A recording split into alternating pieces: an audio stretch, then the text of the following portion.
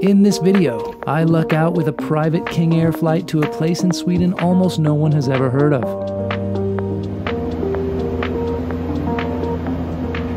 I visit the world's largest wooden bear, and then I fly back to Stockholm. Let's do it.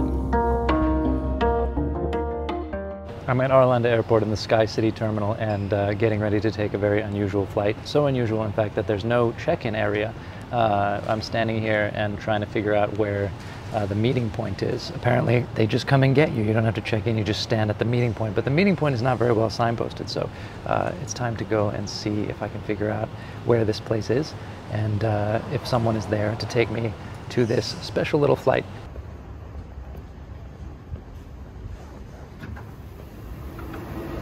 Are you from Jonair? Yeah. Yeah. Hey, how you doing? Fine, yeah. Wasn't easy finding. No.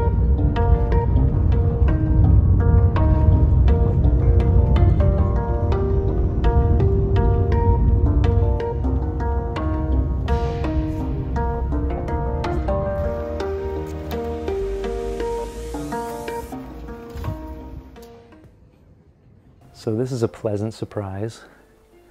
You get taken in a van from the meeting place, which is hard to find, but uh, but you find it. They called me in the end and uh, told me where to go. It's very personalized service, and then you get brought into this place with everything you could want. Oh, thank you. Sure. Coffee, if you want it. This comfy area to sit, air conditioned, and even a piano.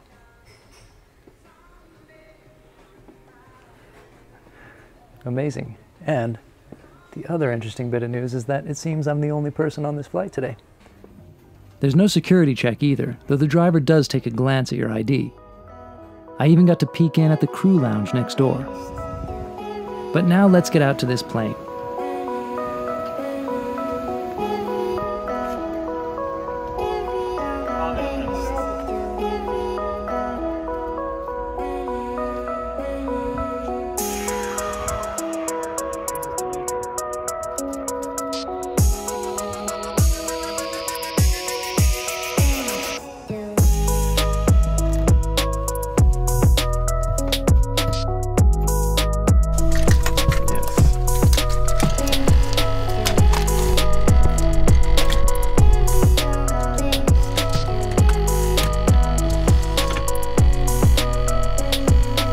This plane took its first flight in January 1983, making it just a little older than me. As you might expect, with no other passengers, it was pretty quick to get going.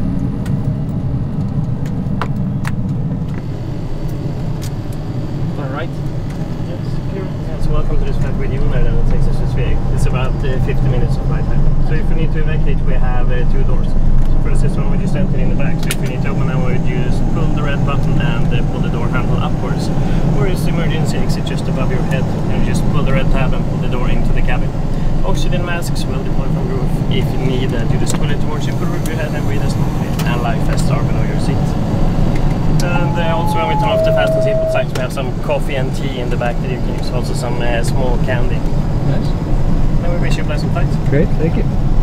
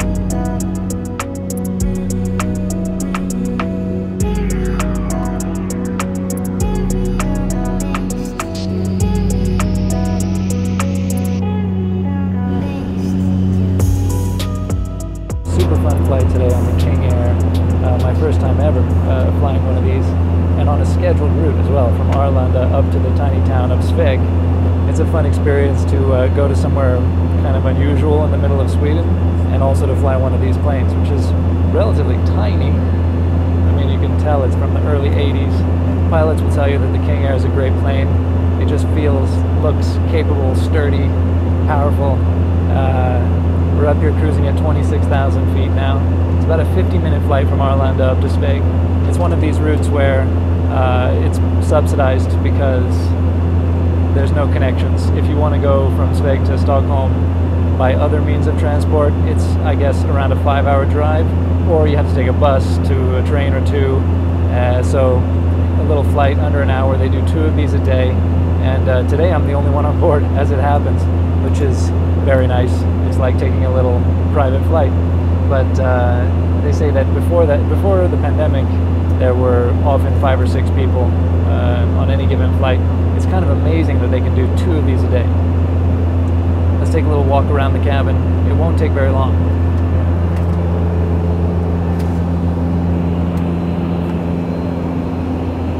Here's where we have our little cargo bay at the back. Great view into the flight deck. You sit in the first row, you feel like you're in the jump seat. And uh, yeah, it's just super fun. And here, look at this. It says clothing only. A bit tricky to move around in here, especially when it starts getting a bit bumpy. But no matter. Oh, and they even give you a little coffee and tea service. What more could you ask for?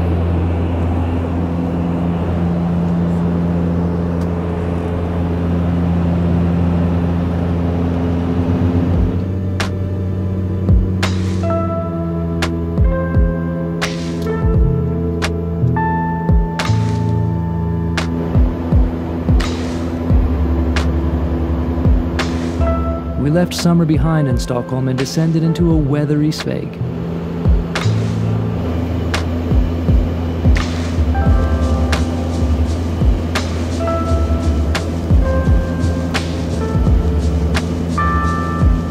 It's only about 200 miles to the northwest of Stockholm, but the difference in climate and landscape is notable.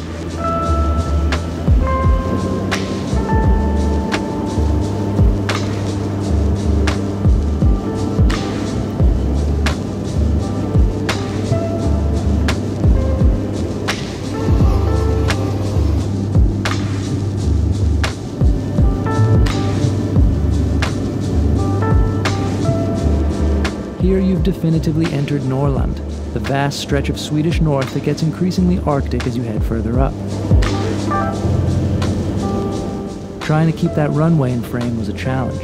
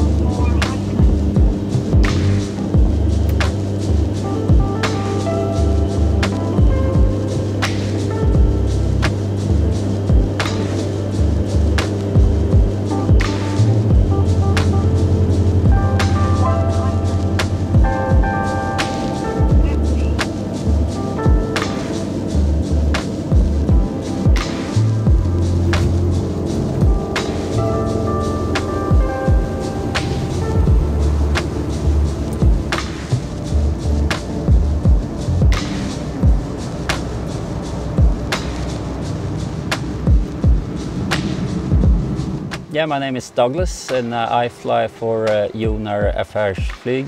Um it's a Swedish company. Uh, we operate mainly in Scandinavia. Uh, we do uh, some commercial flights uh, and uh, executive flights as well. Operation here is a Beechcraft 200 King Air.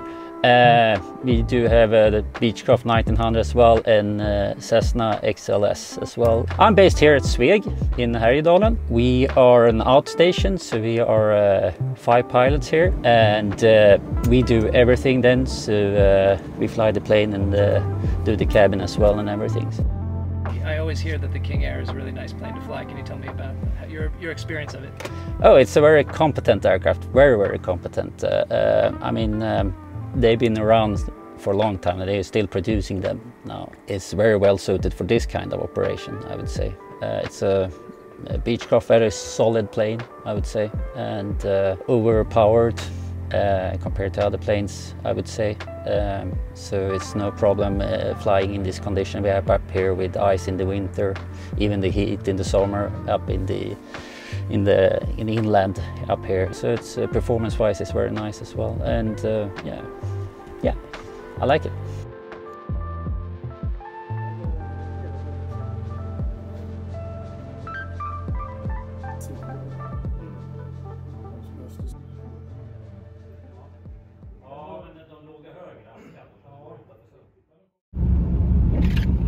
Then I had a few hours to kill in Sveg. A very typical small northern Swedish town, except for two things.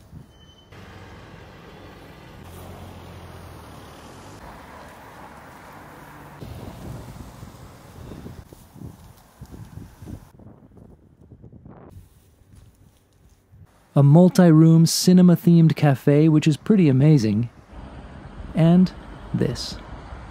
So, I know this video is technically about flying the King Air, and we'll get back to that in a minute. Sveg is home to this behind me. Uh, it's the world's largest wooden bear. Apparently, I haven't really fact checked that, but that's the claim. And now you'll notice there's a kind of strange structure under its head. It wasn't originally built with that. I was told that it's been taking on water. Something was wrong with the construction. I think it was built around 15 years ago to be a kind of tourist attraction. Uh, and unfortunately, they're having to prop it up because it's not structurally sound. And I guess that this fence around it has something to do with that too. So that's kind of very sad because actually it's really nice bear. You could imagine tilting forward and that wouldn't be such a good look for the tourist attraction of Sveg. Anyway, let's get back to the King Air, shall we?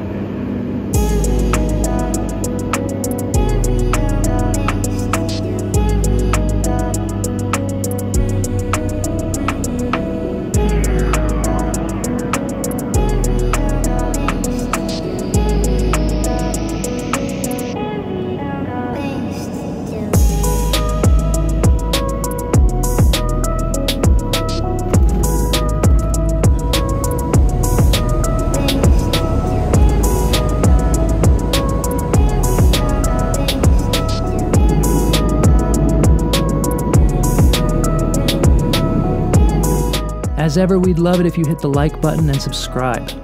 As we grow the amount of video we're putting out, it helps a great deal to reach as many people as possible. Thanks for coming along on this one. In Stockholm, for Flightradar24, I'm Gabriel Lee.